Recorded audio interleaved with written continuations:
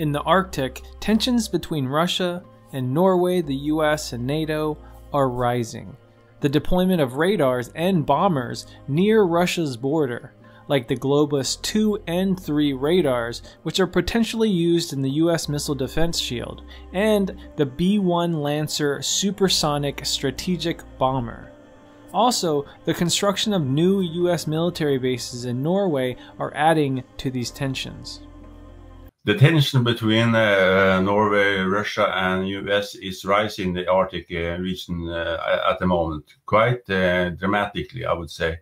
It has been going on for a couple of three or four or five years, and, and it's rising as to when when we are speaking. Uh, it is related to many things. It's related to the east-west uh, uh, situation, but it's also related to what is happening in the Arctic area because the, the more of the uh, ocean is ice-free because of the climate change, and uh, there is a lot of uh, interest from both sides to use these areas as to to for for economic measures.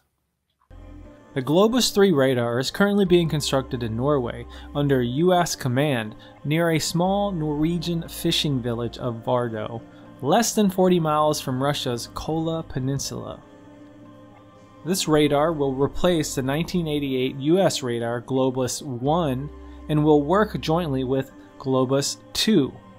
The cost of Globus 3 has been estimated at 1.2 billion US dollars. It is expected to become operational this year sometime. According to Russian Foreign Ministry spokesperson Maria Zakharova, the radar transmits the information it receives to the United States.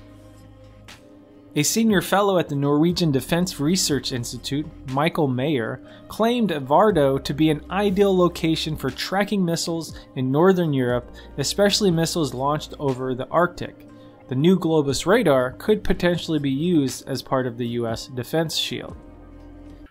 Russia claimed that uh, Globus 3 is a missile defense radar. And that is important because uh, Russia is uh, uh deeply concerned that they will not have any possibility to use their nuclear nuclear weapons in a war, nuclear war, if the U.S. missile defense uh, system is effective. Uh, missile defense is the one thing, but there are two other aspects which is also very important. Uh, remember, Globus uh, 3 is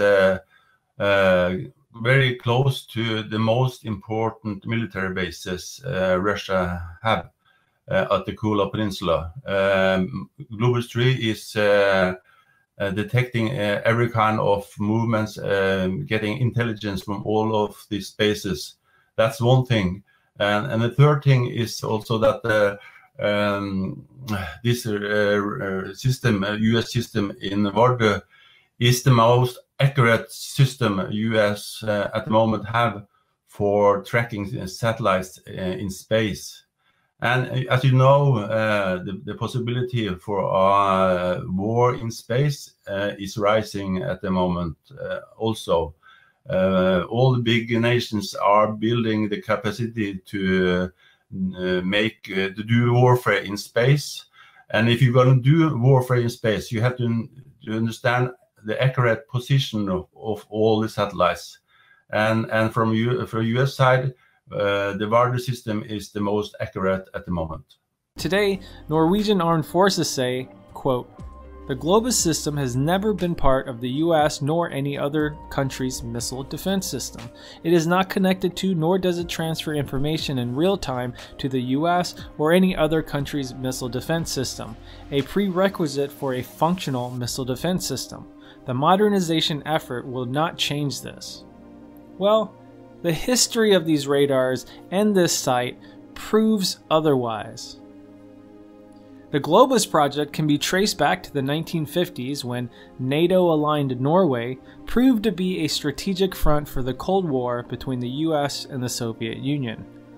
According to the Norwegian military at that time, the Globus system was used to, quote, conduct surveillance on, track, and categorize space objects, conduct surveillance in our national area of interest, and collect data for national research and development. Globus 2 was built by leading U.S. war contractor Raytheon. It was initially located at California's Vandenberg Air Force Base, where the Pentagon regularly tested its intercontinental ballistic missiles. A Raytheon document from 1999, which is the same year that Globus 2 came to Norway, says the system was, quote, originally designed to collect intelligence data against ballistic missiles, with aerodynamic and satellite tracking as secondary missions. The following year, in 2000, the Bulletin of Atomic Scientists published an expose on the site in Vardø and its relations to missile defense. While the Globus 2's public mission was focused on space, NASA denied any knowledge of this project.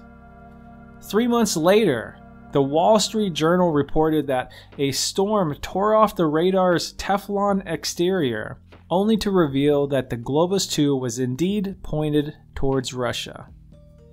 This would be equivalent to Russia deploying a radar in Tijuana, Mexico, claiming that it was for the purpose of space exploration, but having the radar pointed directly at Vandenberg Air Force Base in California. Then denying everything after being accused of covert surveillance on the US with evidence to back up that claim.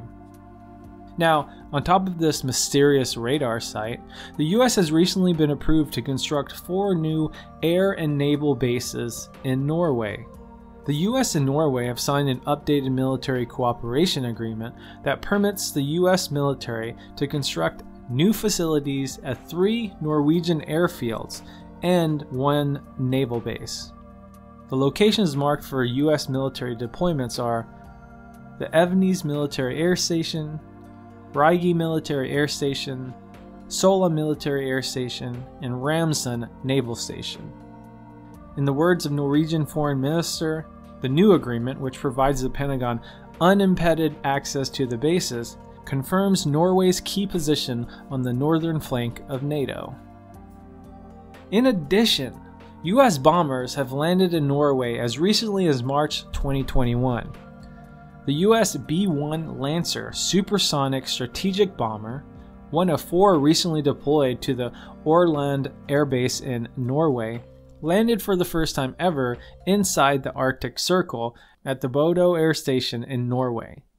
The B 1 is one of the three major U.S. long range strategic bombers, and the one equipped to carry the largest payload of any American bomber. It's capable of carrying 24 nuclear bombs or 84 conventional ones, and overall can be equipped with the biggest payload of both guided and unguided weapons in the Air Force arsenal. It has the speed of up to Mach 2.2 and can fly almost 5,000 miles without refueling. We see now that uh, there are more activity from the American side uh, in this uh, region. Uh, uh, we have uh, aircraft, U.S. aircraft carrier that visited this area quite recently, and there has not been no U.S. aircraft carrier in this year, uh, this area since the Cold War. That's a more, one, clear, one, one clear uh, signal of the new, new situation. Uh, we have we see that the U.S. Uh, Marines are going closer to the. Uh, um, uh, they are going closer to the, the, Russian um, bases at the Kola Peninsula than they have in, in many years. Uh, um, and also we see, of course, that uh, Russia are doing bigger exercises than they have not done uh, for many, many years. What I think we should worry about is the possibility of warfare in space. Um, we see now that China, Russia, and US are putting up quite a lot of effort to modernize uh, and to be uh, effective in uh, space warfare. Um, this is very little on the agenda in the traditional media. But we know uh, that China put up uh, uh, and demonstrated that they could shoot down one of their satellites in 2007 and from then on they have uh, moved on with uh, with uh, new projects for being more effective in space warfare. Uh, we see uh, that Russia in the last two years, two three years, also have done tests that shows they are able to do space warfare, and US is follow up. So uh, I'm very concerned about uh, the, the, development in uh, the years ahead in uh, this regard. The construction of the Globus 3 radar, along with the existing Globus 2 radar, the bomber landings, and the construction of new military bases are some of the major reasons for the sharpening of tensions between Russia and the US NATO Norway alignment.